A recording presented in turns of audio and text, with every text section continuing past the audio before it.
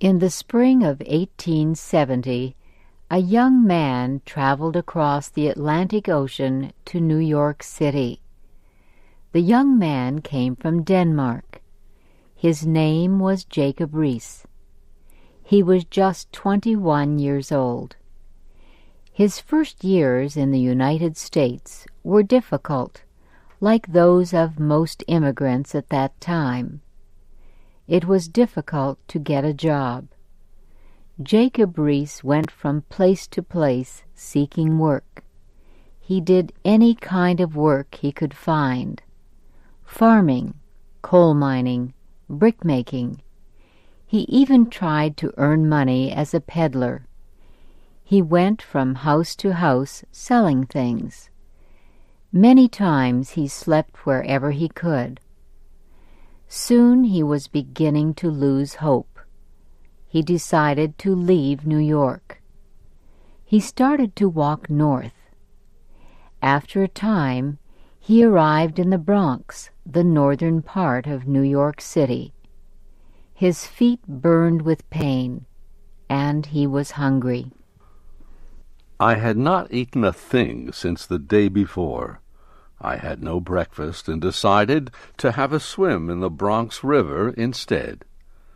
But that did not help. I was just as hungry when I came out of the water.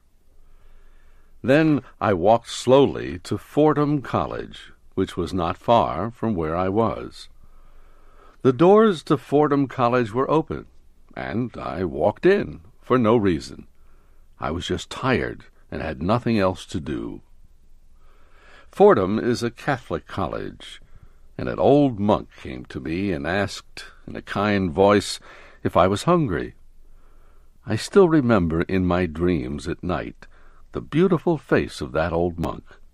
I was terribly hungry, and said I was, although I did not mean to do so. I had never seen a real live monk before. My own religious education as a Lutheran did not teach me to like Catholic monks. I ate the food that was brought to me, but I was troubled. I was afraid that after giving me food, the churchman would ask me to change my religious beliefs. I said to myself, I am not going to do it. But when I had eaten, I was not asked to do anything. I was given more food when I left, and continued on my way.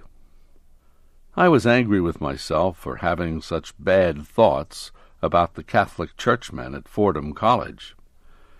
For the first time, I learned something about how to live with people of different religious beliefs. Later, Jacob Riis learned more about liking people, even if they are different. This time, it happened while he was working on a railroad with men who did rough work and looked rough. I had never done that sort of work, and it was not the right job for me. I did my best to work like the other men. But my chest felt heavy, and my heart pounded in my body as if it were going to explode. There were nineteen Irishmen in the group. They were big, rough fellows. They had chosen me as the only Dutchman, as they called me, to make them laugh. They were going to use me as part of their jokes. But then they saw that the job was just too hard for me. This made them feel different about me. It showed another side to these fun-loving, big-hearted people. They thought of many ways to get me away from the very rough work. One was to get me to bring water for them. They like stronger things to drink than water, but now they suddenly wanted water all the time.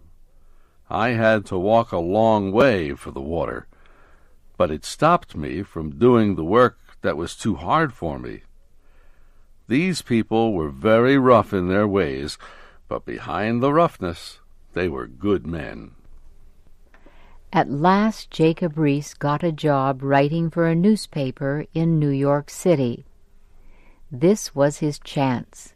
He finally had found a profession that would lead to his life work, making the world a better place for poor people. The newspaper sent him to police headquarters for stories. There he saw life at its worst especially in a very poor part of New York, which was known as Mulberry Bend. It was no place for men and women, and surely no place for little children. It was a terrible slum, as such places are called, where too many are crowded together, where the houses and streets are dirty and full of rats. The place began to trouble me as the truth about it became clear.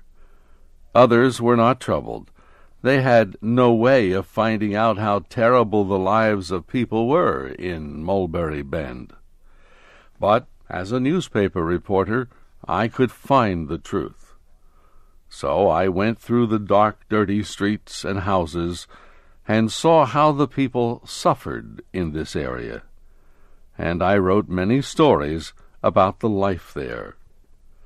I did good work as a police reporter, but wanted a change. My editor said no. He asked me to go back to Mulberry Bend and stay there. He said I was finding something there that needed me. The words of Jacob Riis's editor proved to be very true. Riis started a personal war against slum houses, the sort he saw in Mulberry Bend.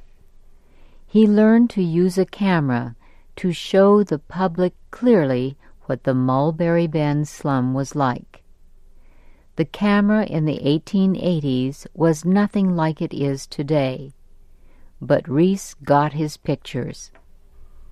I made good use of them quickly Words could get no action to change things, but the pictures did. What the camera showed was so powerful that the city's health officials started to do something. At last I had a strong partner in the fight against Mulberry Bend, my camera. Jacob Riis continued the fight to clean up the slums for many years. There were not many people to help him. It was a lonely fight. But his camera and fighting words helped to get a law passed which would destroy the Mulberry Bend slum. Finally, the great day came. The slum housing was gone. The area had become a park. When they had fixed the ground so the grass could grow, I saw children dancing there in the sunlight. They were going to have a better life, thank God. We had given them their lost chance. I looked at these dancing children and saw how happy they were. This place that had been full of crime and murder became the most orderly in the city. The murders and crimes disappeared when they let sunlight come into the bend the sunlight that shone upon children who had, at last, the right to play. That was what the Mulberry Bend Park meant. So the Bend went, and I was very happy that I had helped to make it go. That was not Riis's last battle to make life cleaner and better for many people. He had great energy and his love for people was as great as his energy. He started a campaign to get clean water for the state of New York. He showed that water for the state was not healthy for people. State officials were forced to take actions that would clean the water. He also worked to get laws against child labor and made sure that these laws were obeyed. In those days, when Riis was a fighting newspaper reporter, laws against child labor were something new. People did not object to making young children work long hours, in places that had bad air and bad light. But in the United States today, child labor is not legal. It was because of men like Jacob Riis that this is so. He was also successful in getting playgrounds for children, and he helped establish centers for education and fun for older people.